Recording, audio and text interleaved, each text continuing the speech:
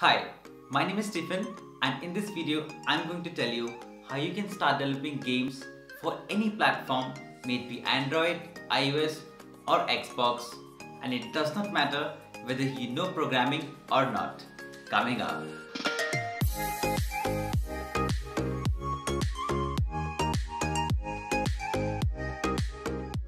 Alright, so let's dive into the video. Before I actually start talking about what are different platforms and all stuff, just a peek-a-boom knowledge that maybe the CEO of Google that is Sundar Pichai or the founder of Microsoft that is Bill Gates, all of their first project was a game.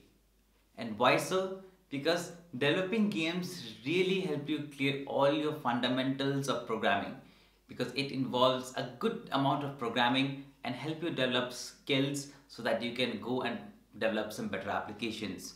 So if you're a student watching this video, I highly suggest you to make at least one game in your graduation or your post-graduation at whatever age you are so that you develop skills of not just of simple programming but of a complex programming.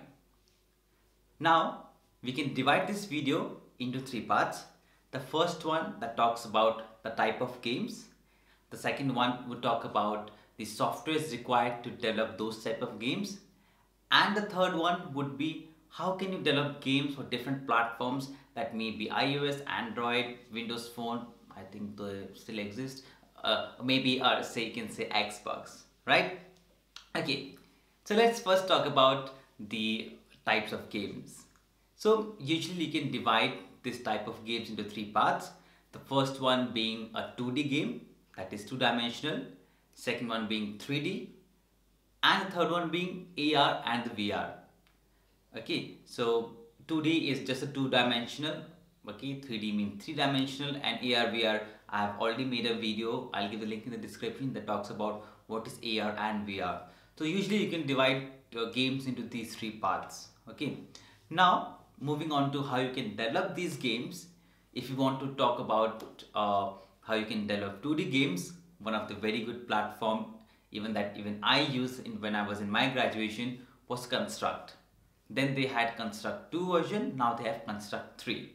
Uh, it's very easy. If you do not know programming, you should go for Construct uh, 3. You just need to do some simple drag and drop and then you can start developing uh, games. It, it's very, it's very, very easy than the uh, other complex one. Uh, and if you don't want to go with the Construct, there's one more uh, engine, game engine that's called Buildbox. You might see a guy uh, doing a lot of advertisement with just a green screen telling, hey, if you want to develop hyper casual games, you can go for Buildbox. So a build Buildbox has recently gained a lot of popularity. So when it comes to 2D, you should go for either Construct 2 and Buildbox.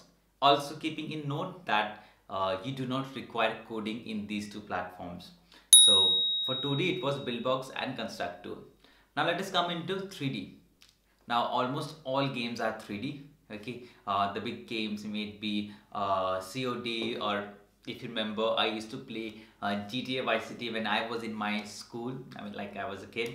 So uh, we all have played GTA Vice City, right? And I believe at one stage I couldn't, I could never move uh, after that level because I always failed right? So if you want to develop games like GTA Vice City or uh, COD, you should move into uh, game engines that are like Unity or Unreal. So these are usually 3D games. So this involves uh, kind of complex programming like both Unity and the uh, Unreal. Whereas Unreal has an option where you need not code. Uh, you can just simply drag and drop, but it, it may not be that effective if you want to go for 3D game development. At the same time, Unity and Unreal uh, also support 2D development of the game like uh, just the way Construct 2 and Buildbox does.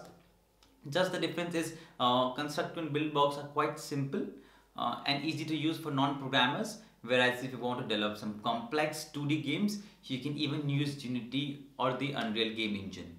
So all these softwares are called uh, game engine not just the softwares to be specific they're called game engine. Those are used to develop the uh, 3d or uh, any any of the game.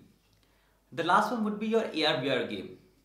Now there's no specific game engine to develop AR and VR games, but what you could do is you could uh, you know work with some external libraries that may be Vuforia or maybe be your uh, Google AR core. So what you do is like you uh, use these libraries in your game engines like Unity and Unreal, and then you start developing AR and VR applications.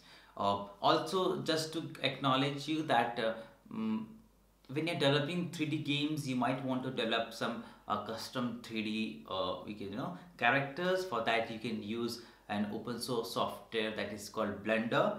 Um, I know some of my friends who are really good at gaming and develop some really cool, um, you know, those characters on build on Blender. So make sure that if you're moving into 3D, you also know how to work on Blender.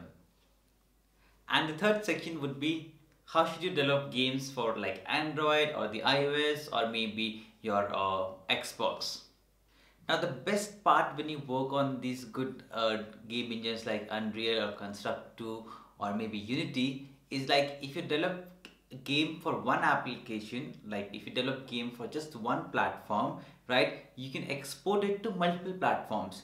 You just need to fulfill certain requirements like if you're developing uh, app or game for Android, you should have an uh, Android SDK in your system. Same maybe for the iOS, you should be doing it on a Mac system, or if you're doing for Xbox, there might be certain requirements. So it's quite easy. You develop game for one application, and then you can export it or build it for different platforms. Uh, there might be some of the complications or the requirements that you need to fill up for uh, specific platforms, but it is not that tough and it is easy to manage.